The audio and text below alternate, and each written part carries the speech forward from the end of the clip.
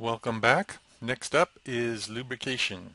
The, the main idea for lubrication in terms of helping our engine to not wear out is that we design the engine so that we can put a film of oil between each of the parts so that this engine is running, things are spinning and moving back and forth, but they're never actually touching one another when they do that. Uh, and uh, and theoretically, that's the way it works. Once the engine is is up and running and an oil pressure is established, the parts really shouldn't touch each other.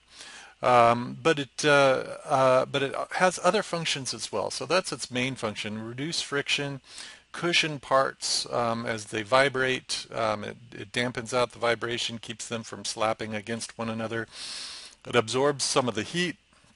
Um, the uh, the FAA test questions often uh, ask a question about uh, the role of oil in in cooling internal parts, uh, and and that's that that is very true. That oil plays a really key part in that uh, for parts that are not exposed to the flow of cooling air um, on the engine, it's especially important.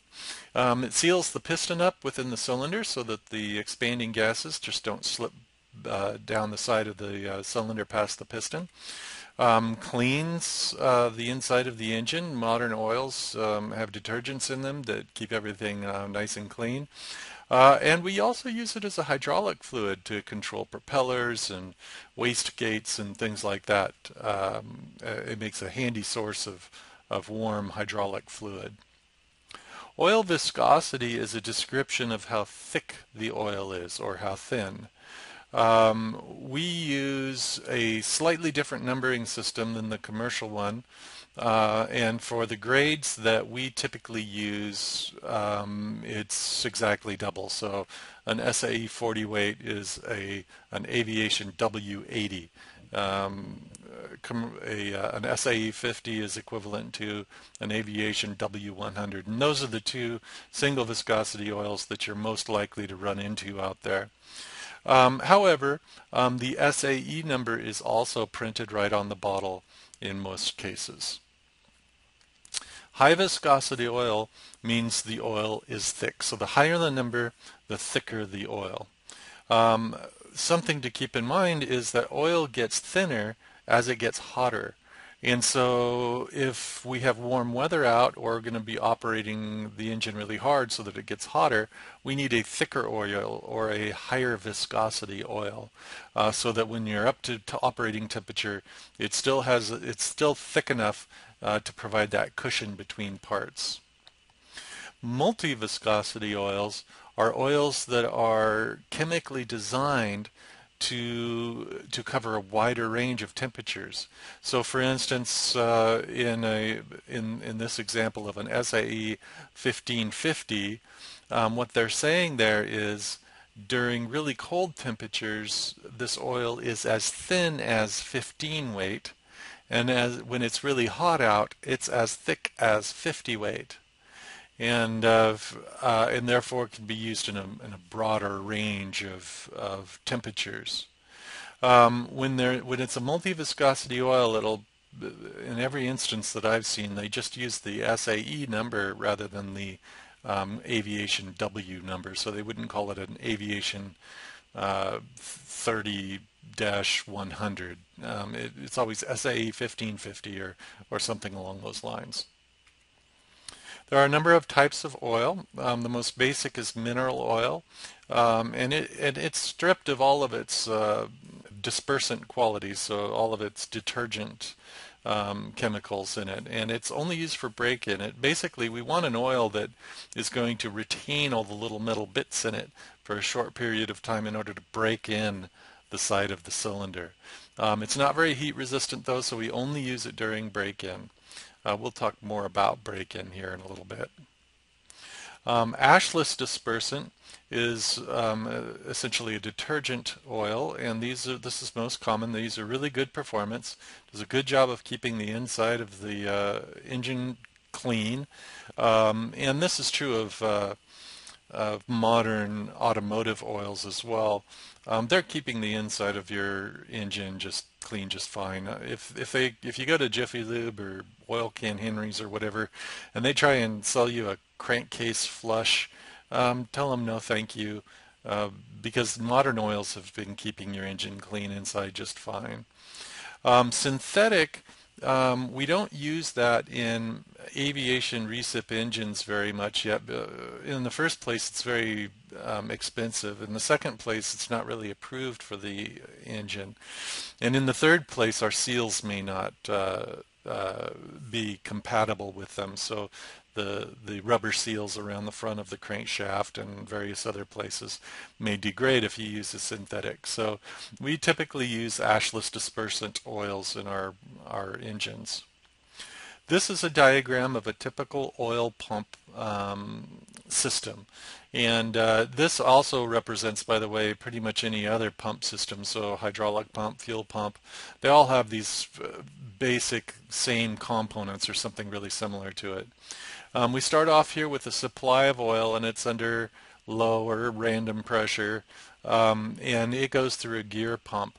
The thing you have to remember about the gear pump is that it it moves the oil around the outside of each gear, not through between the two gears. That would break the gears if it tried to do that. And so notice the direction of these gears is indicated by the red arrows. Um, they're spinning in that direction to move oil in the little pockets between the gear teeth and the case housing from one side of the pump to the other. That's an important piece to remember because some diagrams don't tell you. Um, they just show the little arrows of which way the gear is spinning and you have to know how that works.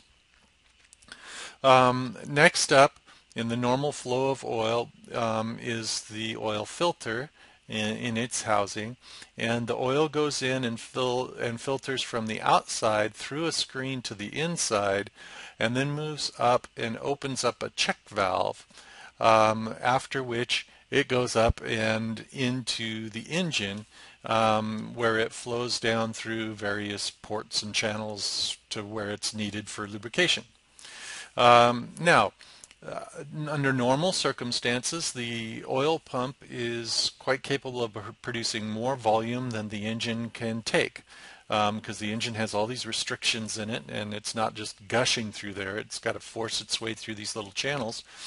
And so any extra oil gets bypassed through the relief valve, um, which is set at the maximum uh, pressure for the engine. Uh, and then it just gets recycled back through. Um, it's also possible, though, for the oil filter to become clogged with debris, in which case this bypass valve will open. And the bypass valve will supply dirty oil up into the engine because the th theory being that a dirty oil is better than no oil at all. Um, and uh, and that'll open up. Unfortunately, you will not have a way of knowing that that's happened as a pilot. Um, the uh, of small aircraft. Larger aircraft where the engine is worth a lot more money, they actually provide a light in the cockpit that says the bypass valve has been tripped um, and you're running dirty oil now. Um, but uh, in our small aircraft, you really all you have is pressure and temperature to watch.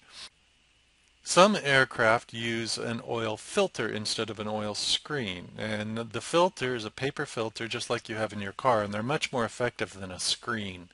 Um, in fact, um, it'll make the difference between be, have, being forced to change the oil every 25 hours with a screen um, or 50 hours if you have a filter.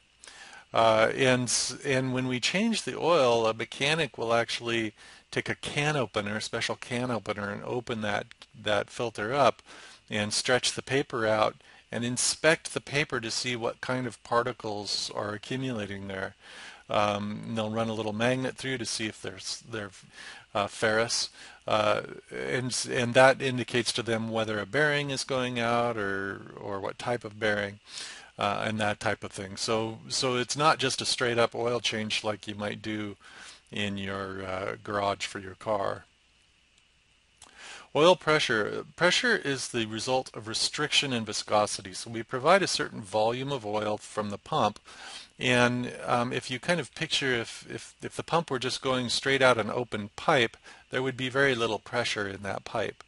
But when you, when you route the pipe into an engine oil system, there's all sorts of restrictions, and so pressure builds up. And that's what we see in the cockpit in our oil pressure gauge. Um, so the more restrictions, the more pressure we have. Uh, with higher viscosity, thicker oil, um, you could have less restrictions but still have higher pressure because it's harder to force the oil through the restrictions. Um, high oil pressure indication can mean a couple of things. Um, the most common is that your oil is not warmed up yet.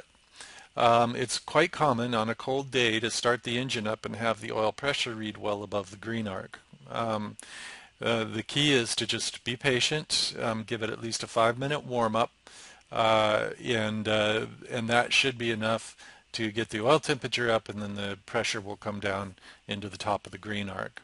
Um, but the other thing that could be happening is the uh, relief valve is stuck, and uh, and and if that's the case, if the engine is warmed up and and now you still have a high oil pressure, then that's that's a problem because you could blow out seals eventually with that. So that needs to be looked at.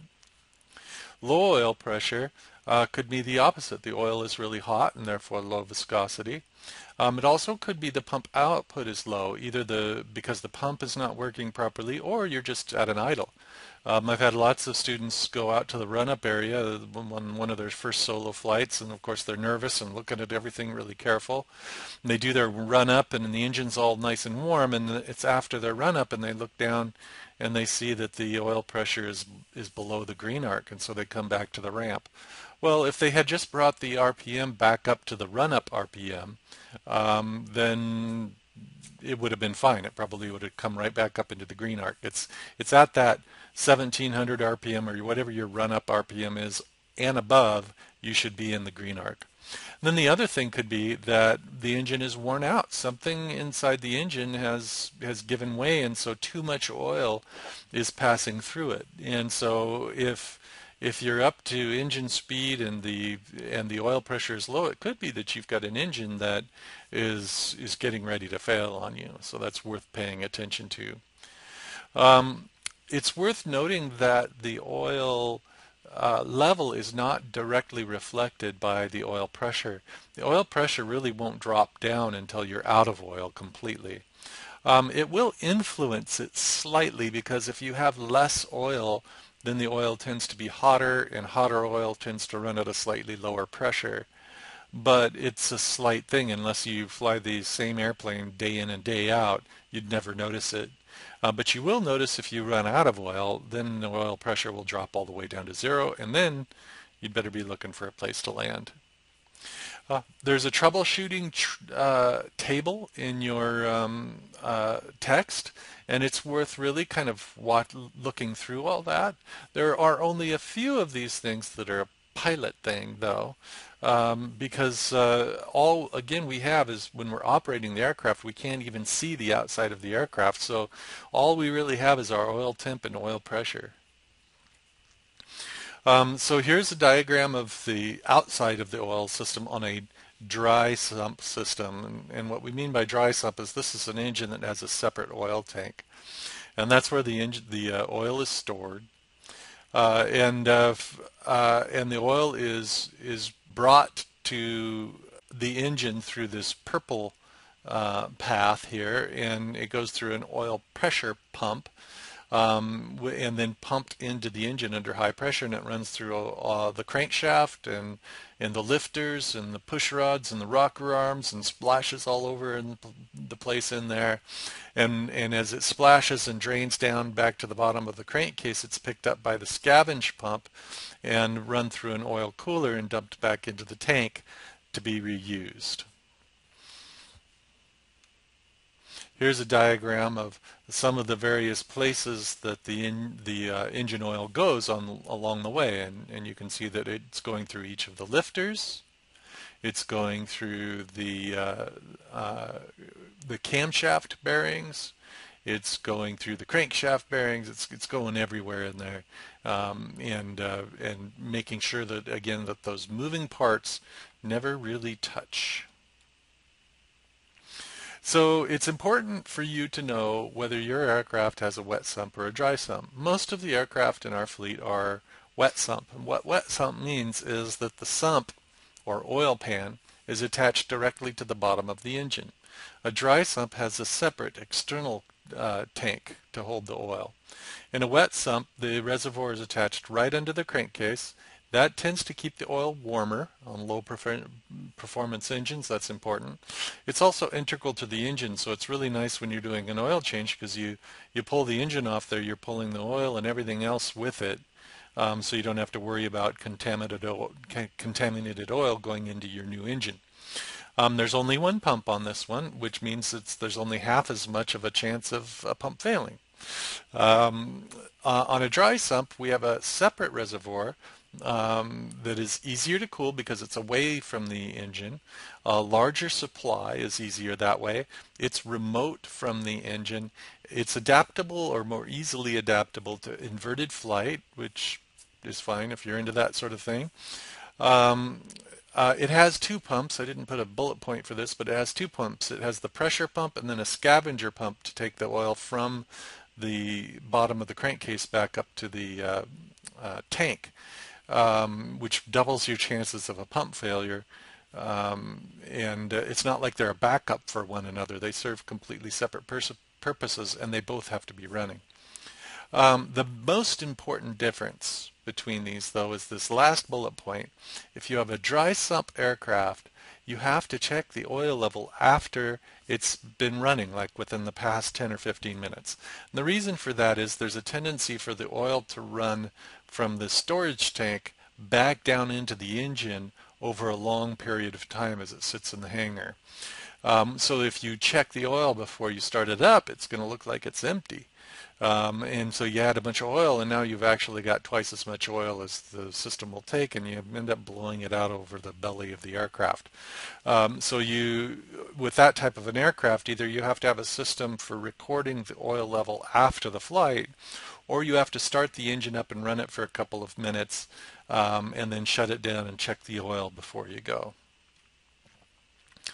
Um, oil testing is a way of monitoring the engine's health. That's one way of doing it, and it's it's done at the mechanic's discretion. You take a sample of the oil and you send it in.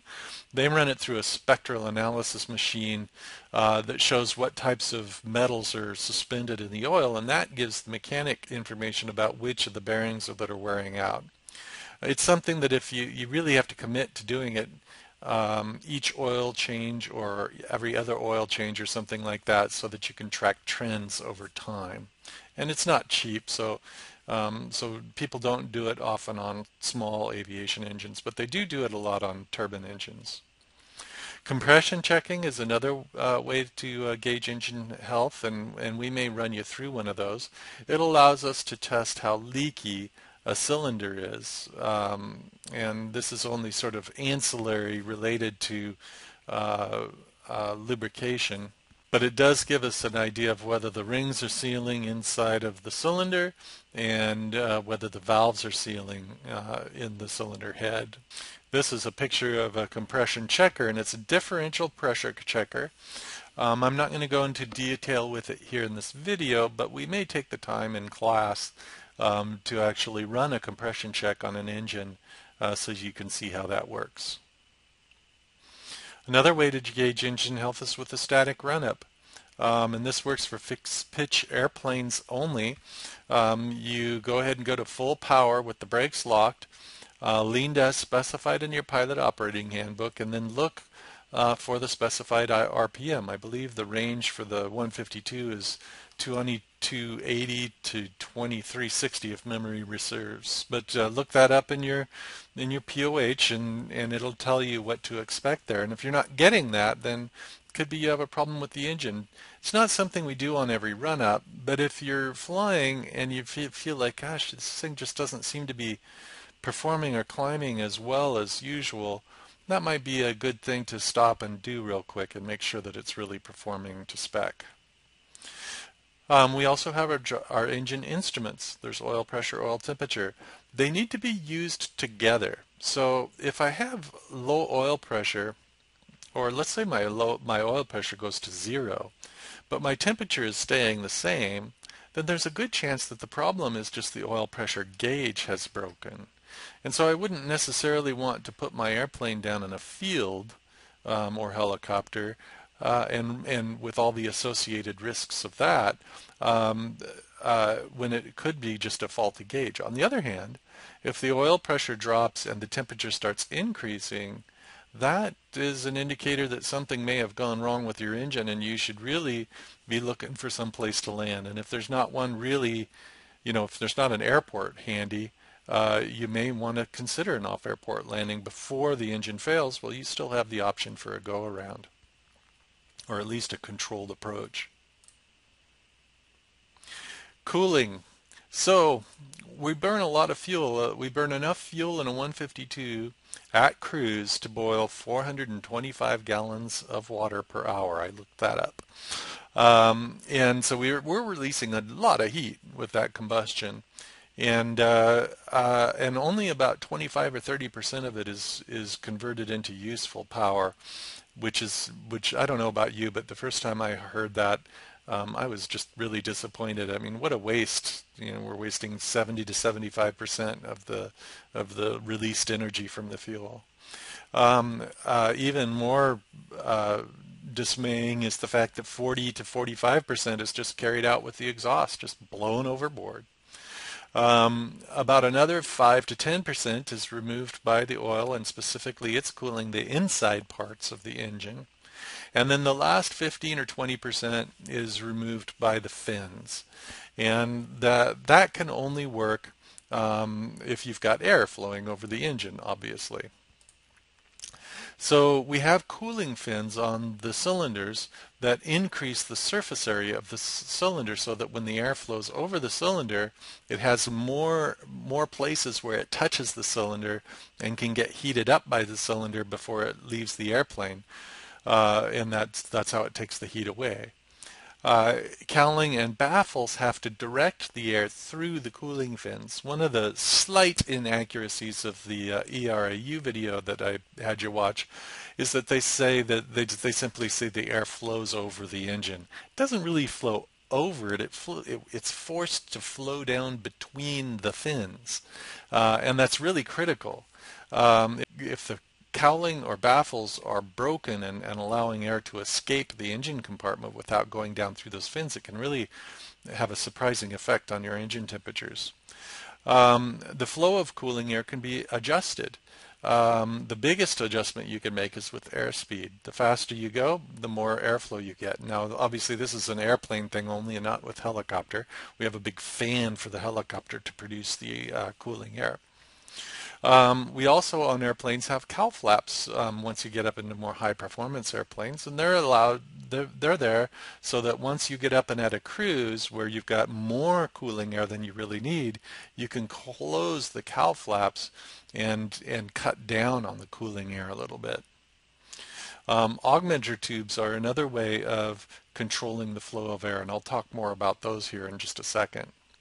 So here's a diagram of how that airflow works. It comes in through those front big holes up there behind the propeller, goes up on top of the engine, and then it's blocked off. There's a dam back here called baffle, and there's baffles between each of the cylinders, and so it forces the air to go down through those fins and get warmed up and therefore carry away heat, and then it gets dumped out the bottom of uh, the engine uh, cowling.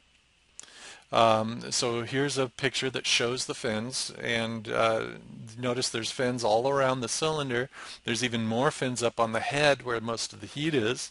And there, there's even more fins uh, around the exhaust uh, valve, which is the, the hottest part of the engine. Here's the cowl flaps that I mentioned. Um, when you move the cowl flap lever in the cockpit, it opens and closes the doors on the bottom of the uh, of the cowling. And you're only going to see this on 172 RGs and up, basically. Uh, so 182s, 206s, through 210s, and, and on up. Um, another way to do the same thing is with augmenter tubes. And uh, with augmenter tubes, we use the high velocity exhaust gases to draw in a bunch of cooling air with them uh, inside some bigger pipes. And uh, and the nice thing about this is the, the the harder we're running the engine, the more exhaust we're producing, and therefore the more uh, cooling air we draw through the the engine compartment, and that's awesome because that that means we have sort of an automatic adjusting system. Unfortunately, it's it's not perfect. Um, it, it tends to allow a little bit too much cooling air through the compartment under low power applications, and so you have to be very careful with this type of of installation to not reduce the power too much, or you could shock cool the engine. Cylinder head temperatures. Um, sometimes we have a CHT probe that, that, displays in the, the cockpit. It uses dissimilar metals that produce a voltage that varies with heat. Um, and uh, screws into the cylinder head so that we're getting actual cylinder head uh, temperature. And uh, it's important to know if you ever own an airplane with one of these that you shouldn't cut that wire because it's part of the system. It'll never work again if you cut that wire all of that um, really goes into this. So the biggest drawback of air-cooled engines is that you can shock them. Um, if you get them really hot and then you bring the power back and point the aircraft downhill so you get a lot of cooling air, um, some parts will cool faster than others and that causes stress and you're going to crack. Mainly the cylinders and cylinder heads is what you're going to crack. You have control. The thing is to make easy power adjustments, um, especially during power reductions. Um, take airspeed into consideration. So if you do need to get down in a hurry, one better way to approach it is to reduce power and slow down and, and descend at a slower airspeed. Uh, use cowl flaps appropriately, meaning close them if you're going to a lower power setting. Okay, that's it for now. Um, we will talk about all of this in more detail uh, when we are in class working together.